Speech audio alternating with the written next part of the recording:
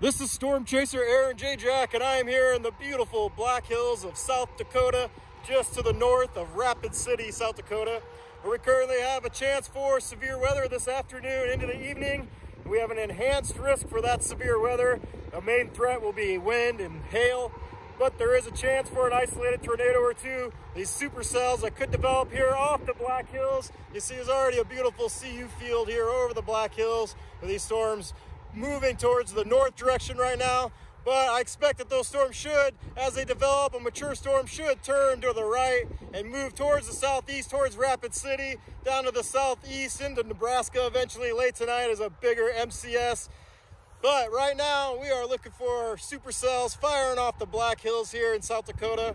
They get their name because of the evergreens here, and they look quite dark from a distance. Dark hills here, beautiful country here. Mount Rushmore is just to my north a little bit here. I'll be chasing the storms here through the afternoon for MyRadar, so stay tuned to the MyRadar weather app. You can get your forecast for your location, especially if you're here in the South Dakota area. You definitely want to stay stay stay stay aware of the weather this afternoon.